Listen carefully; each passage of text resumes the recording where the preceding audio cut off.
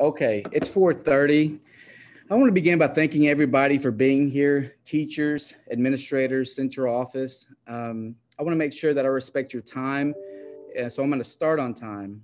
Um, today's presentation is specifically over the teacher incentive allotment.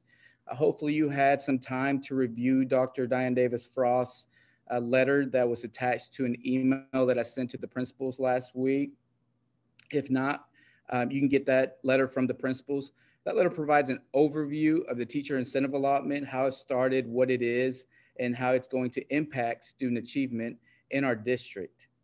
Um, having said that, I want you to know that we'll be adhering to the to the 3B presentation rules. Uh, for those of you who don't know the 3B presentation rule, um, that's I'm going to be clear with the presentation. I'm going to be concise with the presentation, then I'm going to be gone uh, with the presentation. So again, respectful of y'all's time. I understand um, everybody's day uh, at this time of the year is a lot um, in education. So let's get started. So like I mentioned, the teacher incentive allotment is going to be uh, what we'll be discussing today. And there's going to be four deliverables, four objectives. The first one that we're going to be uh, discussing is uh, the purpose for the teacher incentive allotment how did this get started? Uh, where did this come from? Um, and how it's going to and how is it going to impact students in our district? Number two, we're going to take a detailed look on the teacher incentive allotment, uh, a detailed look into the teacher incentive allotment. Um, the third objective revolves around um, understanding as a group what it's going to take to gain a designation. And we'll detail uh, what a designation um, means in this presentation. But what it, what's it going to take as a teacher, because this is just for teachers, to gain a designation in the Corsicana Independent School District, which differs from other districts based on each individual district's application. And the last um, objective for today, the last deliverable, uh, hopefully by the end of the presentation, we have a great understanding uh, of the teacher incentive allotment funding, how that works, and the district's individualized spending plan.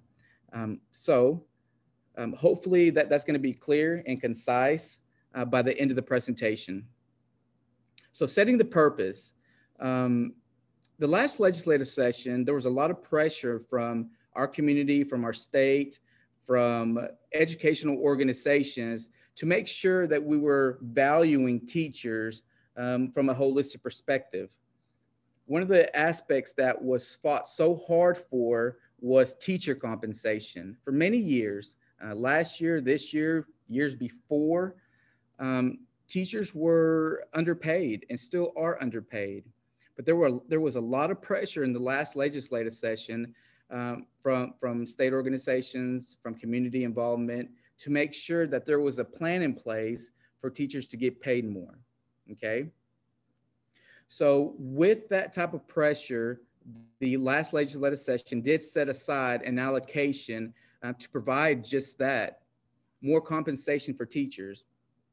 But obviously, uh, in dealing with money, and uh, whenever a, a district receives money, there's usually 99.9% of the time, there's usually strings attached to it.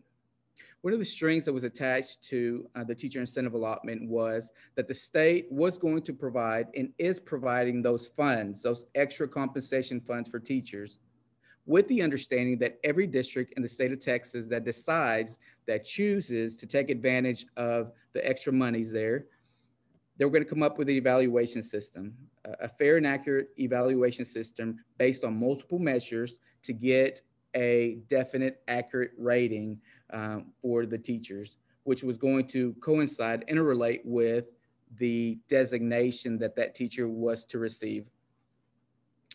Uh, the evaluation data, so, so their understanding, their, their um, request for an evaluation, a strategic evaluation system was because they knew that if a district um, was to create an evaluation system, then they could use that evaluation da data uh, for many things uh, staffing, strategic staffing, um, human, ca human capital decision, and those go hand in hand. Uh, when it comes to uh, placing teachers, highly effective teachers at the most neediest campus, we've done this in, in, this district. So we were ahead of the game uh, when it came to that aspect of selecting highly effective teachers and placing them at the most neediest campuses. So that's a part the evaluation system that a district had to show uh, and has to show the TEA um, in their application process. Professional development, you can use the um, information, the data gathered from the strategic evaluation system that a district creates um, for professional development. Where are our um, students needing, or I'm sorry, our staff needing the most uh, developing? What areas um, do we need to support the staff to make sure that trickles down to the students and ultimately impacts the students? Because at the end of the day, the teachers impact the students the most. Uh, followed right closely behind uh, are, are the principals. So the teachers are the most impactful. Various research says that, followed by uh, the principals. Um, compensation, um, gathering the right information, the right data will lead to um, um higher compensation for those effective teachers. Career pathways, which teachers are uh, the experts in, in curriculum instruction and if and if we can kind of designate which teachers are uh, the most effective, then we can create a career pathways that will ultimately help the, the, the district as a whole, not just their classrooms. Uh, hiring, of course, I've hit on that. Uh, and then supporting and retaining the best possible teachers. You know, if a teacher feels valued, um, not only um, by the principal or the district, um, but, but by everybody, if they feel valued and if they feel uh, well compensated, obviously the, the, the teacher retention rate, um, it, it's, it's going to show that. So this is what they found out. The, the, these researchers that um, were evaluating the implementation of strategic evaluation systems, they found out three key concepts. Any district that has implemented an effective strategic evaluation system have proven the following um, uh, denotations. There's been an increase in retention. There's been an improvement in student outcomes, and uh, there has been a closing of academic and opportunity gaps. But when you think about it, um, that's an obvious. Uh, with a lot of research, I always, always, always laugh because they, they do these these months and years long studies, and you're like, well, yeah, we knew that already. But obviously, you need data to make sure that that it's proven effectively um, in, in science. But obviously, if, if we're going to have an evaluation system um, that measures certain things, they're going to get done. And, and that old saying, what gets measured, measured gets, gets done. I like to think of it, of it as what gets measured get, gets improved. Um, so those are the three um, denotations that have come from various uh, research studies in regards to um, uh, strategic evaluation systems.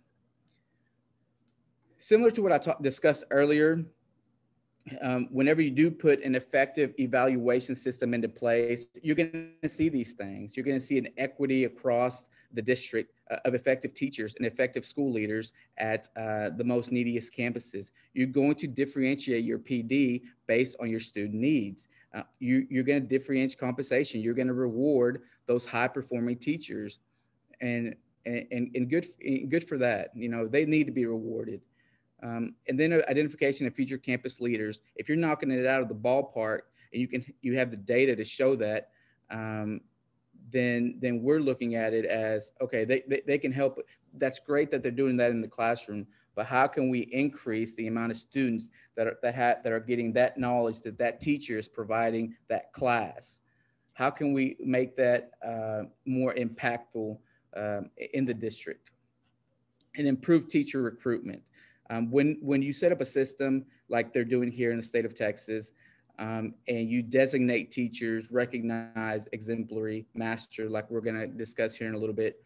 When you designate those teachers, obviously as a district, we're going to seek the master, te- master teachers out. We're going to seek the exemplary. We're going to seek the recognized because that's going to be in their certificate. And obviously, uh, why would you not? You know, what we, we talk about um, recruiting the best teachers to the Corsicana Independent School District. We have great teachers right here. We have phenomenal teachers. Um, but why not increase the number of great teachers and effective teachers? Um, and one way we can do that is by seeing um, if they are recognized, if they are mastery, if they are exemplary, uh, which is detailed in their SBEC certificate, or which will be detailed uh, for several of you in your SBEC certificate. Okay, introduction. That was the purpose. So that's the purpose of the evaluation system. Why is it why is it important? What are the benefits for districts? Um, why why would we even want to be in the evaluation system, such as the teacher incentive allotment? That was that was that piece. So introduction. Like I mentioned earlier, there was a lot of pressure on the legislative uh, on the last legislative session to increase teacher compensation. So the goal of the TIA uh, of the TIA uh, was to provide a realistic pathway so that our teachers could earn six figures. You know, um, there was a lot of of talk about, you know, how, how, can that be? How can the legislators get to that? Uh, can they get to that? Can they provide a pathway? And they did. And they did. They said, here's a pathway, districts. If you want to take advantage of it and you want your teachers to be designated, recognized, exemplary, or master and get paid extra, like y'all have been talking about for years, then you need to put in the work, put in the application, and work with your teachers and explain to them uh, the process of attaining these designations in your district in the Corsicana Independent School District because other districts uh, that are applying for this, and not all are applying, there's several that aren't applying. We're applying because this is going to help teachers. This is going to help teachers, and this is going to compensate them for doing a great job. And the money's there. It's not a competitive grant. You're allotted this money. Why would you not take advantage of it and, and, and, and uh, support the teachers in gaining those designations that are five year, are valid for five years and carry them? That can be carried. That designation can be carried through the entire state of Texas. Now, I'm not saying leave Corsicana when you leave, when you get that designation. Please don't. Please don't. What I'm saying is, if there's a family, maybe your husband's, you know, maybe he's a pastor and he got moved to um, East Texas, and you're an exemplary teacher. That that designation, you carry that designation to any district you go in, into, uh, and they have to compensate you for that. So the district approval process is a, it's a two-step process. So as a district, we've been working on this application for a little bit over a year. Um, we started about a year and two months ago. And the way we started that was we compiled a uh, district teacher incentive allotment committee that that that um, central office, campus teachers, principals were involved in. Um, then COVID hit, and we kind of had to kind of step back a little bit, take care of that business. But then we hit it hot and heavy uh, this year, um, uh, like in November, and we started meeting again, meeting with teachers, meeting with principals, meeting. We had a, a subcommittee, a board subcommittee that helped, reached out to Region 12 for help, uh, discussed uh, our plan with with TEA, let let them just kind of tell us any tweaks that we needed to make. So so it's a long, arduous process to even complete the application. Um, but but but our teachers deserve it. Uh, y'all deserve it, especially um, for those individuals that are that want to participate in this, because this is optional. You don't have to participate in this. As a teacher, you don't have to participate in this. But why would you not? Uh, you, are going to get T-TESS evaluated uh, for the most part. There's some of y'all that that aren't uh, T-TESS evaluated based on your great results in the past and based on your tenure. But why would you not? You're going to get T-TESS evaluated. You're going to get student uh, growth data. Uh, you're going to get a campus overall rating. Why would you not? Especially if you're a great teacher, you're going to be missing out on some money, but that's your decision. So, so we apply uh, to the Texas Education Agency. They review it. They approve it. Then they send it to uh, Texas Tech, and Texas Tech measures the student performance growth. Um, after that, uh, they grant us approval of which teachers, after looking after looking at the student data growth, which teachers uh, are designated as recognized, exemplary, and master. That's placed on their certificate. And like I mentioned earlier, that designation follows them to whichever public school district in the state of Texas that they are working in.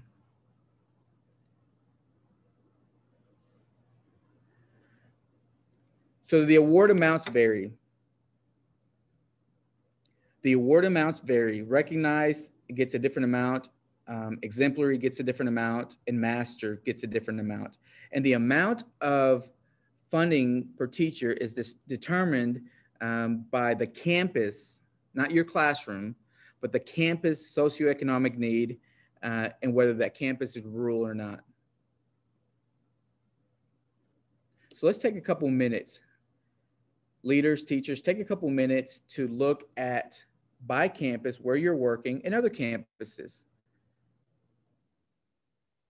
The designations of recognized, exemplary, and master, and how much extra amounts teachers at one of those campuses that gain that designation, that earn that designation, receive or will receive. Let's take about two minutes to review that.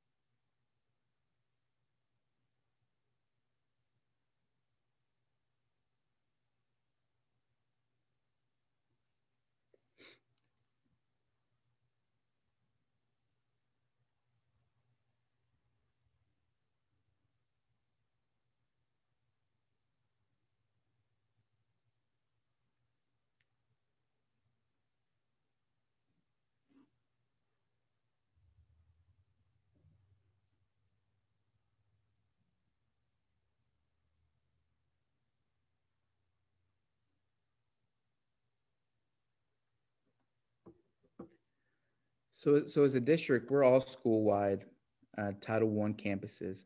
We all meet that 40%, 40% threshold of low-income students.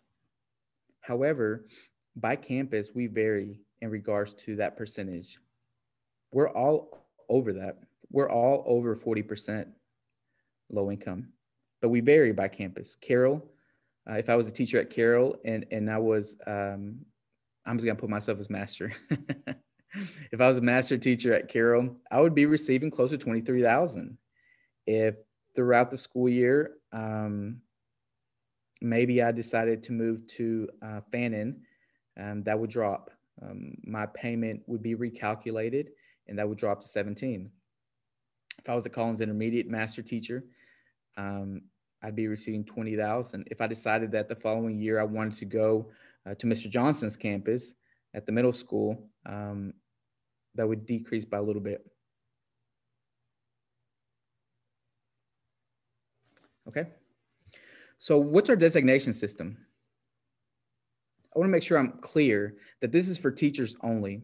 In discussing with with the committees, uh, with the um, subcommittee, the board subcommittee, the um, teacher incentive allotment district committee, uh, with the district um, committee that consisted of HR, uh, curriculum instruction, uh, Stephanie's department, my department, um, it was denoted that we were going to spend 90% of those funds uh, on teachers. The allotment funds was to go to teachers. And a teacher must have, you can read for yourself there, a valid SBEC certificate. One of those three would work. And they have to be coded as a teacher. You have to be in a classroom setting. So, so those are who are eligible um, from a personnel side of things.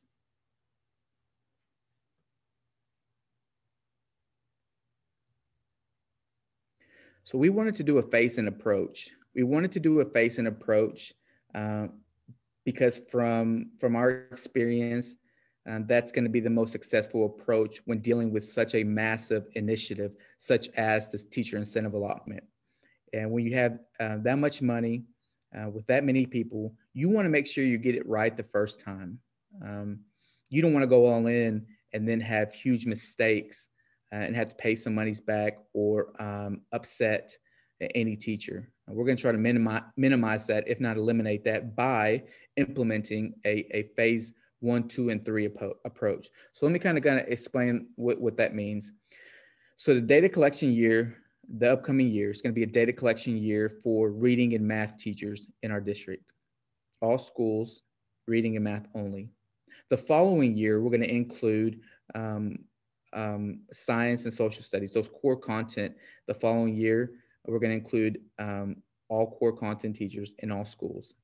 And then third year, we're going to do all schools and all subjects.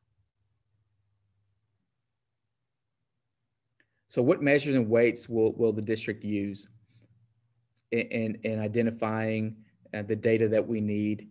And ultimately, this data is going to designate teachers as recognized, exemplary, and master teachers. T-tests, 30% uh, in our model, 30% uh, of the weight is going to be T-TESS observations. That's going to be done by your principals. Uh, student growth, we're looking at 60, 60%, STAAR 40%, and MAP 20%. Um, and then campus overall rating as it relates to, to STAAR, 10%.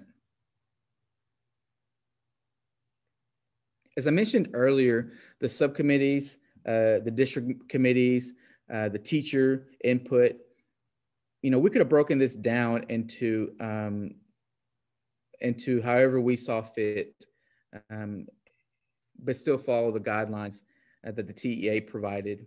But we decided to go all in with teachers.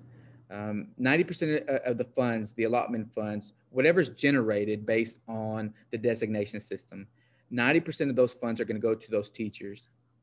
And 10% of those funds are going to be with the, to the implementation of the teacher incentive allotment. Um, 10% of those funds are going to go to uh, trainings that we're going to need um, for um, the student growth component. 10% of those funds, same 10%, not additional, same 10% of those funds are going to go to um, summer trainings on to make sure that all the teachers, uh, all, all, the principals, all the district admin are aware of this initiative uh, and, are well versed and not only how, how to attain a designation, um, but also um, answer any question that, that, that we may have from, from the teachers. How will these extra funds, how will this extra compensation work in conjunction with, with the, the way we pay right now with our salary schedule? It's not. It, it's not going to replace the, the current salary schedule. You're still going to get paid um, on the similar dates that, that we have right now next school year um, every month. You're still going to get paid um, what you get paid right now. These funds are in addition to the district salary schedule. Keep in mind that, that, that the, the legislative group wanted to create a pathway to, to the six figure salary for teachers. And this is it. This is it. Year one, uh, the TEA will notify districts of final designation and, and allotment. So, so if, if you go back, uh, you don't have to go back, Stephanie, but if you go back a couple of slides, and, and this will be posted. It, this this recording will be posted um, online, so you can uh, review if you would like, or, or look at the PowerPoint slides. If you were to go back, um, the data capture year is next year. The data capture year is the 2021 2022 academic school year. The following year, the following year is when we know which teachers uh, gain the designation um, in allotment um, for, for the data capture year. So initial payout for the approved system will, will occur on or before September of 2023. Um, that should actually read, we're a September 1st district, meaning that our, our, our um, funds get approved by the board in August, and September 1st is when we start um, spending the, the new funds. But um, that should actually read August because September 1st is when we start. That should, actually read on or before August of 2023. And if you're and if you're thinking, man, that's Dr. A, that's a long time from now. Uh, it really isn't. When you look at the schedule, it's really not. You know, data capture years next year, and the final designation is is close to that. So it's really not. Um, and again, this this this designation uh, that that holds that holds for five year five years and is valid for five years. Um, you can take that with you anywhere. We don't want you to. we want you to stay here, but you can take that with you anywhere. So the next steps. Every teacher in our district is going to receive a survey from Texas Tech University. Please fill that out. You're going to receive that survey April 26th. You're going to receive a survey from Texas Tech University on April 26th. Please fill that out. The deadline for that completion, for, for the completion of that survey is May 14th. So you receive the uh, survey the 26th of April. You have until May 14th um, to complete that. As a district, we're going to create space, uh, whether that's on um, our website or um, any method that we that we can create for you teachers and for you principals, where um, you can get questions. I'm sorry, you can get answers to your questions, and I'll go over a little bit more detail that in a little bit. But we're going to create a, a, a website page um, to where we have Q and A's we have this recording, we have subsequent recordings of where we are with the process of the application. Uh, when did it get approved? Does it get approved? When does it go into effect? Uh, which teachers are um, eligible? Um, and, and obviously have the discussion principles of with your teachers, uh, the, the importance of participating in this, but also with the understanding that it, it's, it's optional. But why would you not want to participate in this um, with these extra compensation funds? Uh, there's going to be a plan. There's going to be a detailed plan in the summer. Uh, once we get the application approved, we can have those discussions with the campus pr principals, and the campus principals can have discussions with the teachers uh, to support the school leaders and teachers to make sure this is successful. To make sure this is successful. You know, one of the things that I've learned in education, you don't want to mess with people's children, and you don't want to mess with with with uh, people's money. Um, and, and this has both. So um, we're, we're, we're phasing in. Um, we're, go- we're going to start with phase one. We're going to make it successful. Um, and we're going to need your support to do that. Uh, with the understanding that we as leaders, district leaders, are going to provide every resource possible for you to make sure that the ones that want to participate are successful in this. And we're going to provide regular uh, teacher incentive allotment campus updates. And again, as I mentioned, the data capture year the entire year, uh, the upcoming year, is when we're going to gather that data for those teachers that are eligible of phase one. So this is important for you to know. As I mentioned earlier, communication is key. It's going to be key to make this successful. The planning, the uh, presentations, the training for those eligible teachers. We have to have a concerted uh, effort to answer any or all questions, comments, or concerns that you teachers have. So for the first year and a half, um, possibly more, I, I want to make sure that um, I answer and I'm the lead on this initiative. So we've created an email to start with to answer, and that email comes uh, to me to answer any or all questions that you have in regards to the teacher incentive allotment or anything that I presented uh, to you today. Um, there's the email. Um, you can take it down. You can write it down. Just keep in mind that this presentation will be posted. And there's my, my phone number.